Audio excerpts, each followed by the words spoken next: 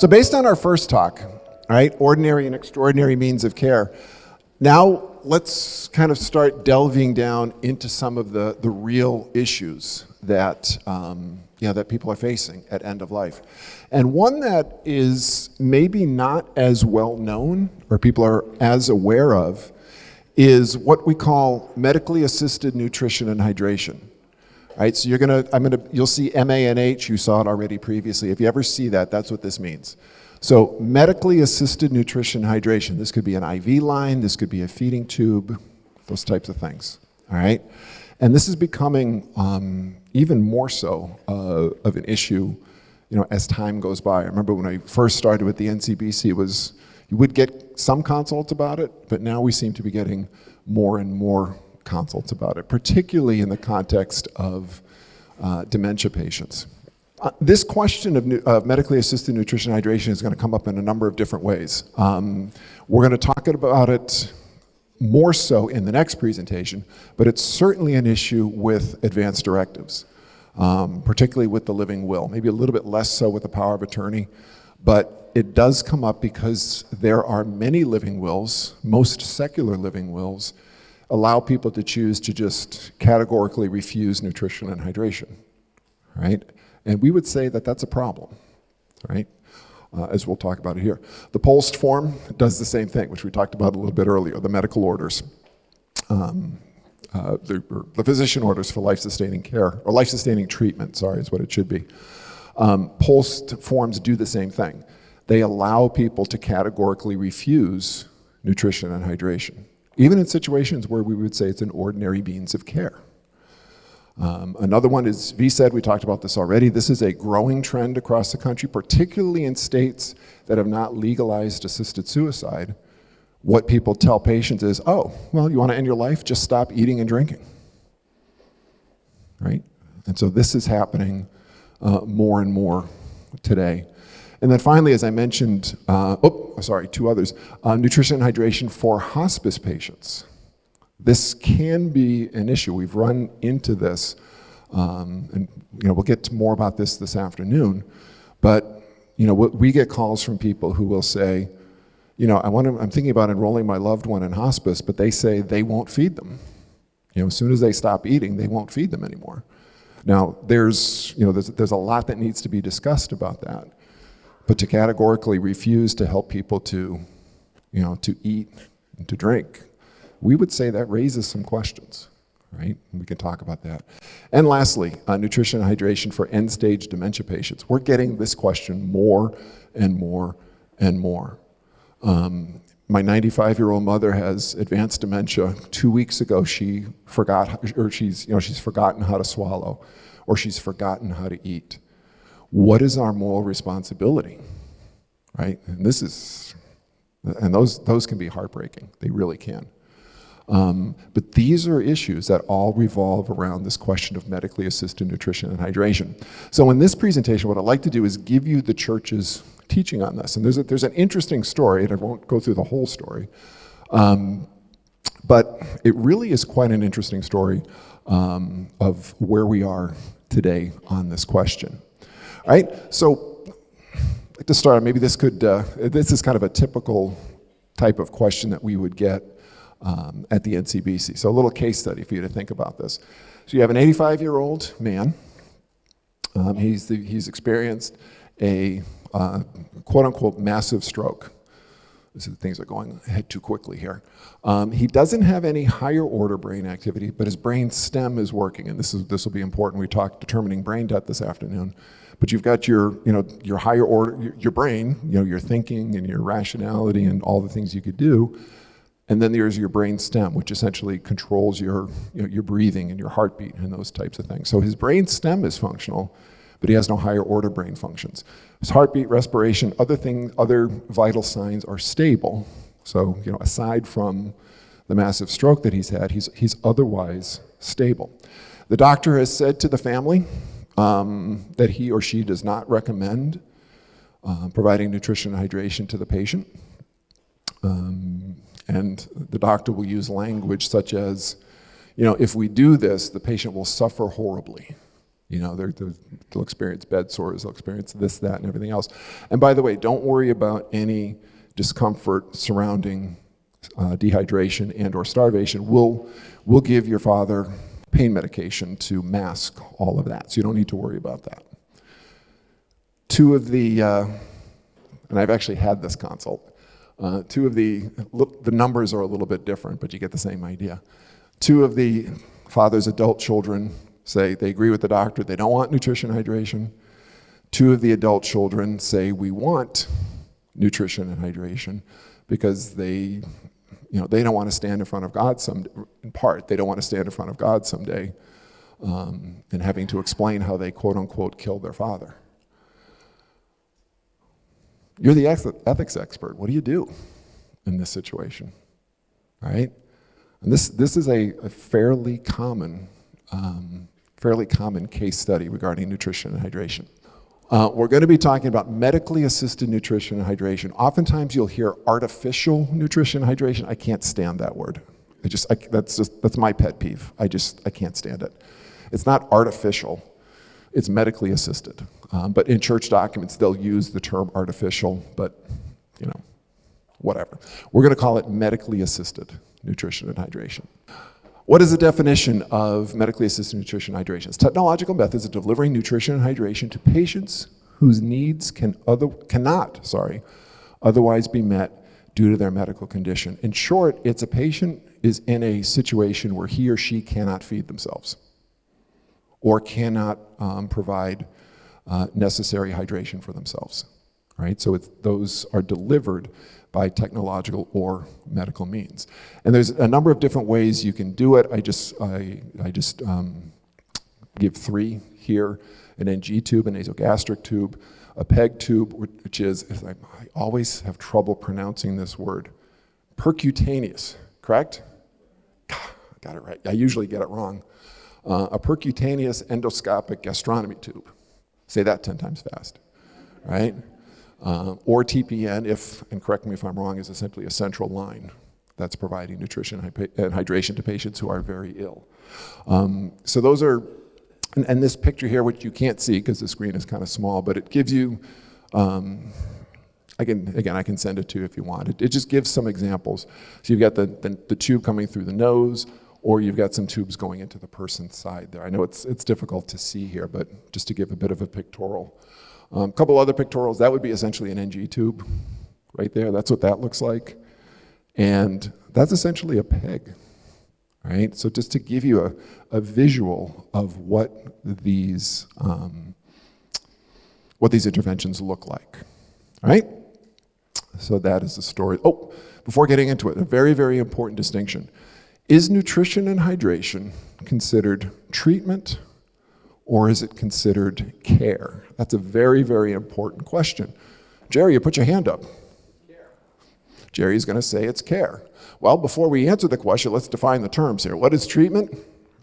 Application of medicine, surgery, psychotherapy, etc., uh, to a patient or to a disease or symptom, right? You're treating some pathology in the person. Care, right?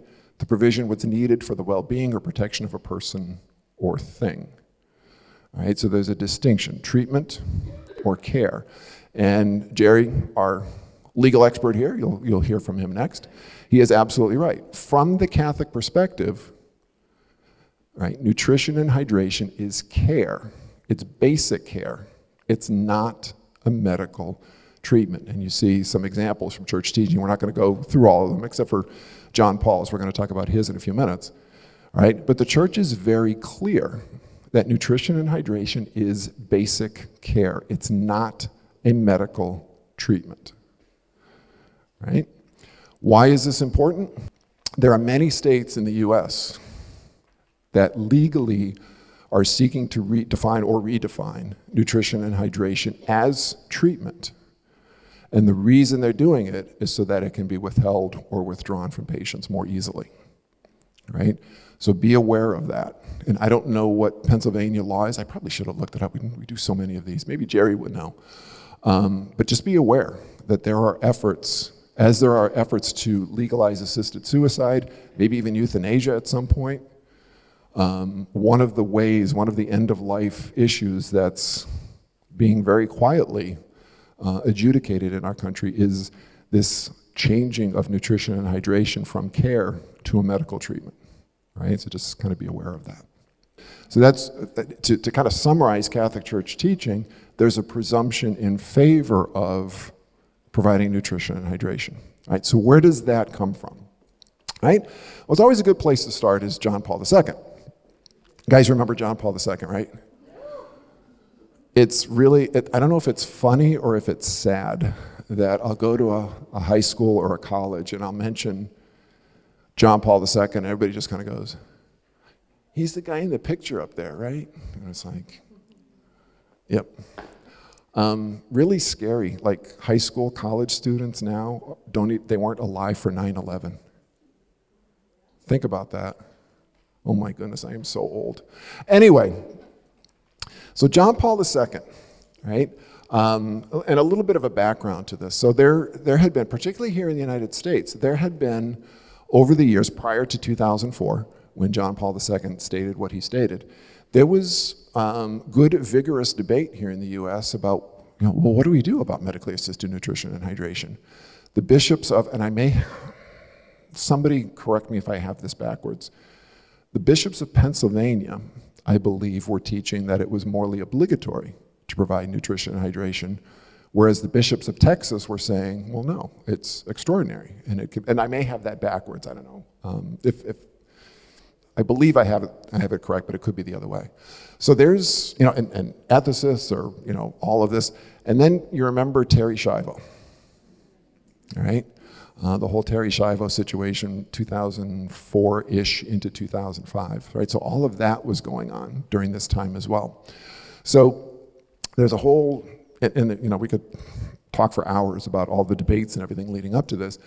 But basically, John Paul II, um, I don't believe he actually went to this um, International Congress of Physicians on Life-Sustaining Treatments. It, it happened in Rome, but this was about a year or so before John Paul II died. So he was, you know, he was in pretty rough shape, as many of us remember.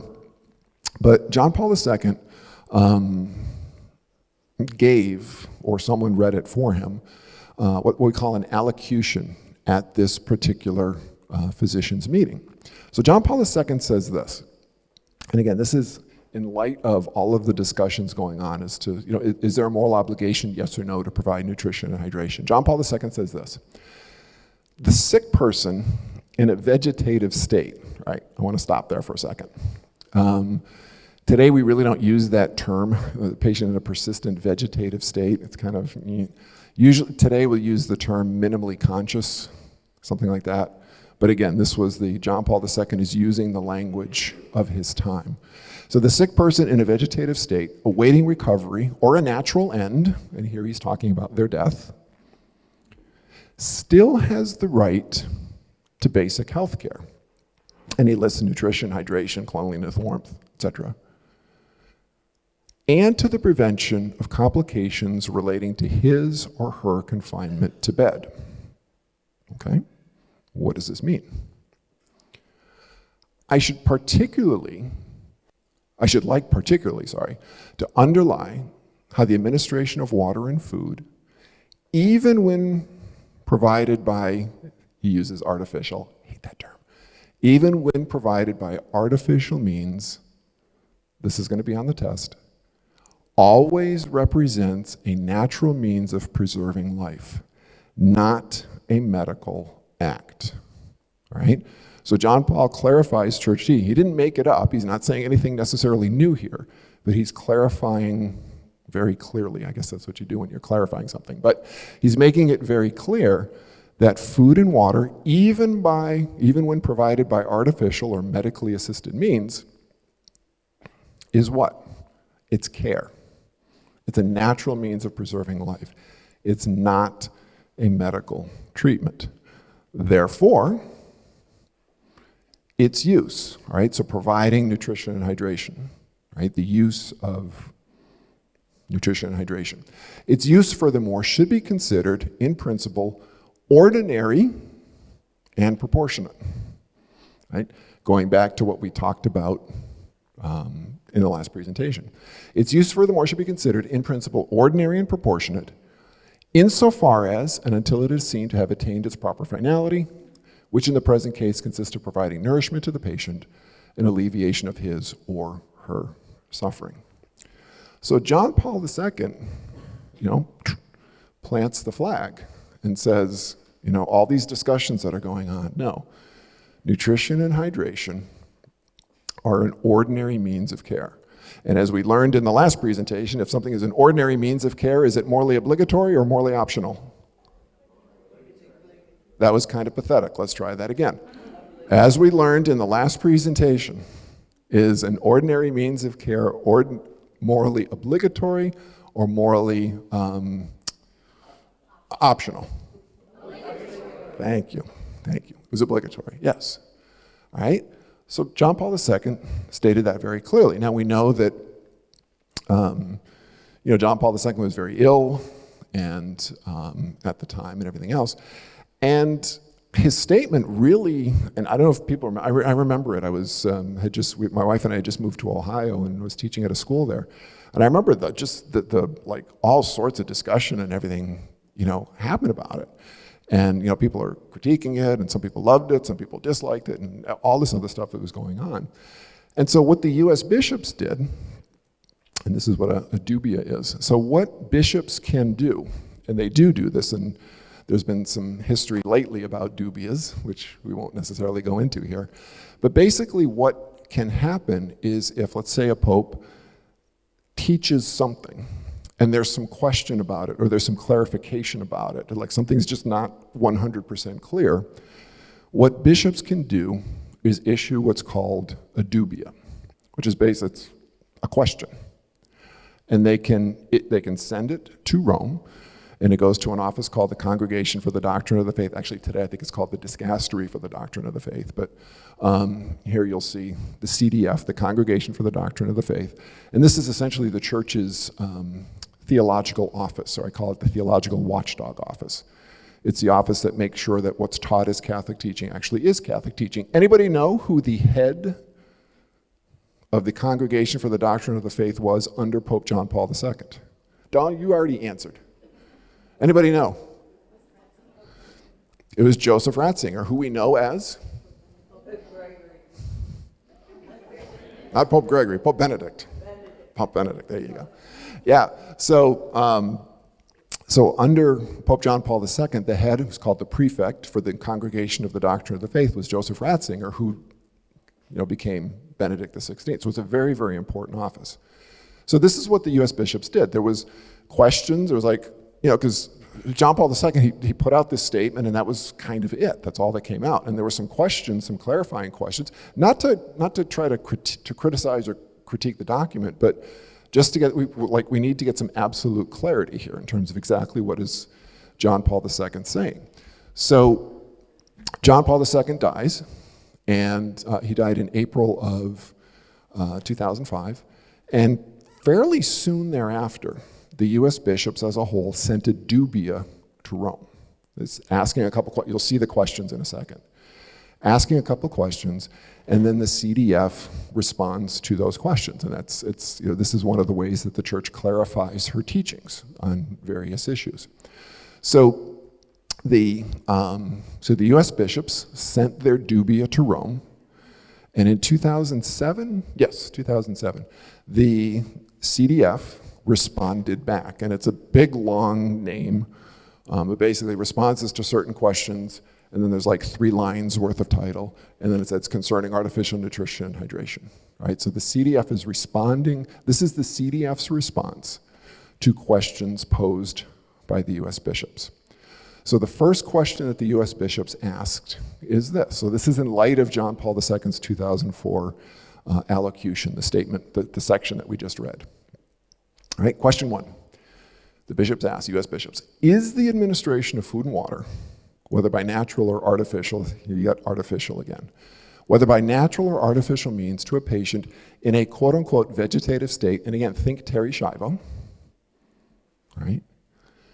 Is the administration of food and water, whether by natural or artificial means to a patient in a vegetative state, morally obligatory? Response from the CDF, yes. Yes, it is. And then they go on. Yes, the administration of food and water, even by artificial means, is in principle. Hold on to that. Right? Hold on to that. In principle. Remember presumption in favor of? This is where this is going to become important. Um, administration of food and water, even by artificial means, is in principle an ordinary and proportionate means of preserving life. It is therefore, that was really bad. It is therefore, excellent. To the extent to which, and for long as it is shown to accomplish its, fi- its, to accomplish its proper finality, which is the hydration and nourishment of the patient, right? What this accomplish its proper finality means the food and water are doing what they're intended to do, right? Provide hydration, provide nourishment to the patient, right? In this way, and this is key right here, in this way, suffering and death by starvation and dehydration are prevented. That's key. I've had um, consults, true story, and I've had to do this twice. And I don't know what the result was but it was consults about nutrition and hydration for a patient and going through you know, the steps of doing it, which we're going to go through in a couple seconds here. I would certainly believe that providing nutrition and hydration was ordinary, but the person I was on the phone with disagreed. And they were, they were you know, that we weren't like nasty yelling or anything else. It wasn't like, you know, TV, whatever, debates. No, it was, but it was a good, good, healthy debate. But in the end, I had to say to the person, these two people, so you're okay starving your mother to death. Because that's what they were doing. And both times it was kind of dead silence. And, um, well, I never really thought about it like that. And I said, well, maybe you should start thinking about it like that. And that's what this is right? That's what the CDF is saying. Why are, we, why are we doing this? Because we don't want the person's cause of death to be starvation or dehydration, right? And that's really important. That's a key point to all of this. So question number two, there were two questions that the U.S. bishops asked. Question number two is this one. All right, now think of specifically uh, Terri Schiavo. All right, question two, when nutrition and hydration are being supplied by artificial means, is that word again? To a patient in a permanent vegetative state. Again, today would probably use the term minimally conscious state. May they be discontinued, a la Terri Schiavo, may they be discontinued when competent physicians judge with moral certainty that the patient will never recover consciousness. Okay, so you have a Terri Schiavo type of situation. Doctors have determined with moral certainty that she will never regain consciousness little asterisk there. I know Terri's brother, um, Bobby Schindler, and Bobby will say what was presented in the media about her situation was completely wrong. Um, just, it, it, really is quite heartbreaking um, when you hear sort of the inside story of that.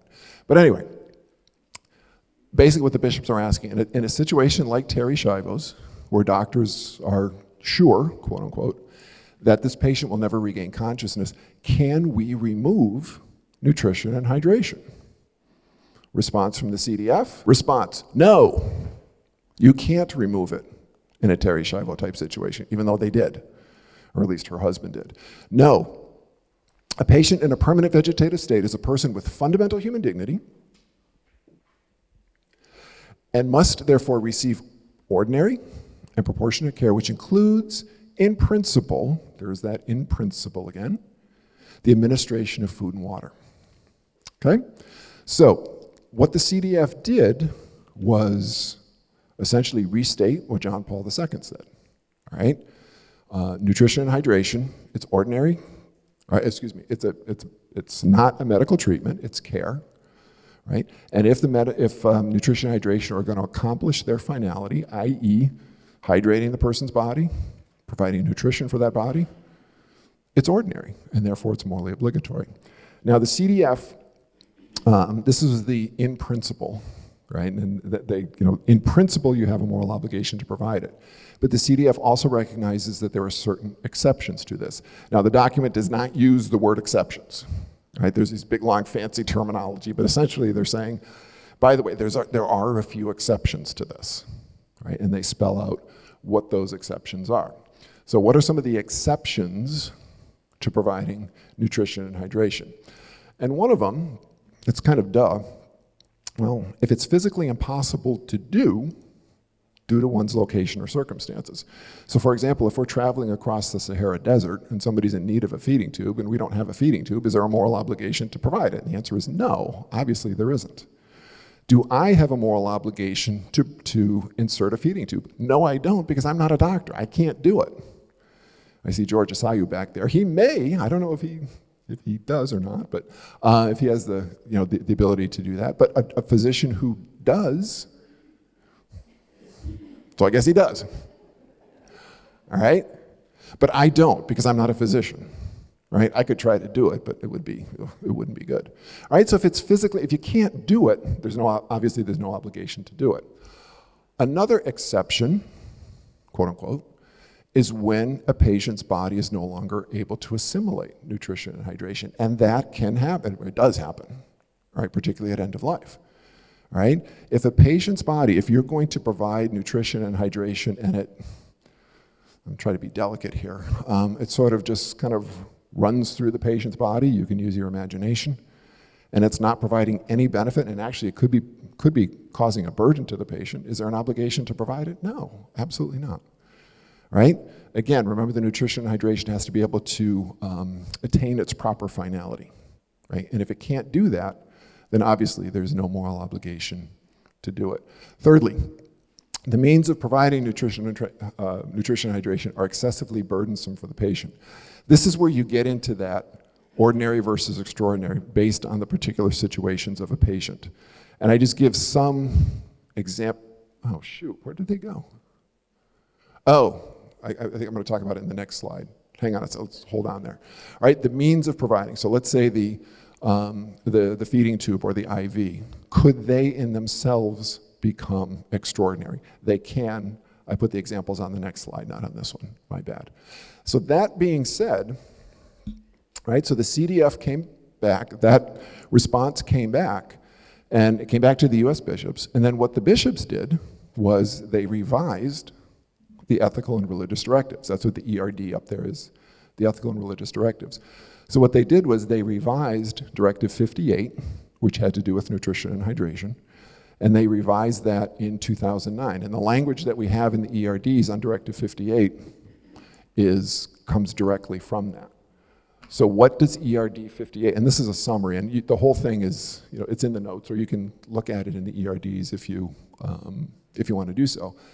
But essentially what Directive 58 says is this. In principle, there's an obligation to provide food and water, including medically assisted nutrition and hydration. Just repeating John Paul II, repeating the, the Congregation for the Doctrine of the Faith. It is permissible, however, and these are the exceptions, it is permissible, however, to withhold or withdraw um, medically assisted nutrition and hydration under certain circumstances. And the first circumstance is, as we already mentioned, the patient can't assimilate. Again, right? You can't absorb the food, you can't, or excuse me, um, digest the food, you can't, you know, the, the, hydration's not going to accomplish its end, no moral obligation to provide it.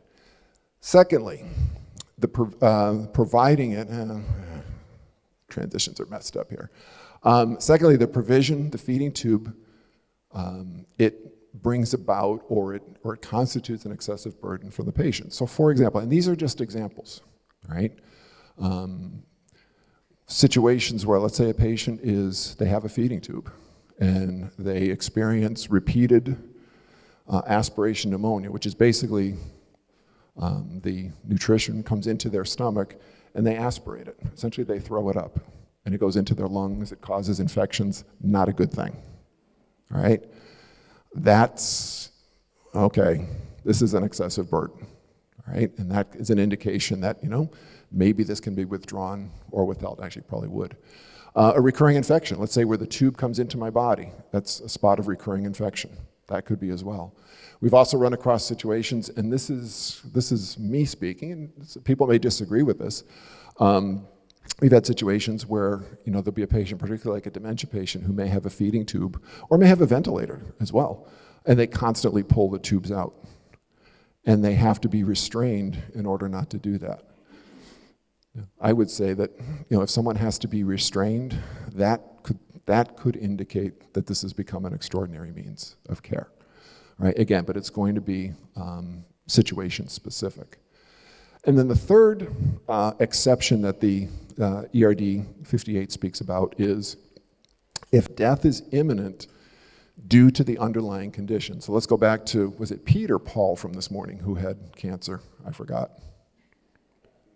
Peter, Paul, which, one of the apostles, I don't know, whatever.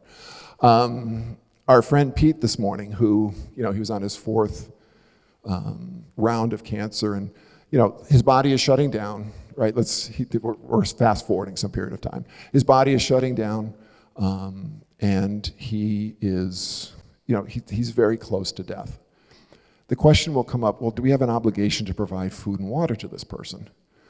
And one of the things that the bishops will say is, well, you know, if, it's an, if, it's, if the person is actively dying and they are going to die from their underlying condition, you know, before they would die of, of starvation or dehydration, then there's no moral obligation to provide it, right? But again, the key here is that the withholding of nutrition and hydration is not what causes death. What's causing death is the underlying, you know, their underlying medical condition right? And as we, most of us know as well too, as people are moving towards death, they, people eat less and they drink less. They're not, they, their bodies don't need it. And sometimes people, you know, when people are, are calling us in consults, you know, they're really worried that, oh my goodness, you know, my mother hasn't eaten anything in three days or hasn't eaten anything a week or has only eaten very little. And we say, you know, that's very natural, right? That's a natural thing. And that's, you know, another um, issue to be, um, you know, to be addressed in all of this, right? Um, where are we? Some related topics. Um, and I kind of mentioned this before. These are, these are some of the practical issues that we see. Um, some of these are a bit, a bit, of repetition from earlier today. So, um, nutrition and hydration in advanced directives. We see this all the time. As I mentioned before, and Jerry's going to talk about it. Um, that's a Holy Spirit calling. You might, might want to take that. Could be a vocation, I don't know. Um, but anyway, um, many um, advanced directives, even some Catholic advanced directives, mm, allow people to categorically refuse nutrition and hydration. That, it's actually in violation of church teaching, right? So be aware of that in terms of um, your advanced directives. Uh, voluntary stopping of eating and drinking, as I mentioned um, previously, and you see the definition uh, up here. Um, it's essentially a person who wants to end his or her life, and they do it by stopping eating, right?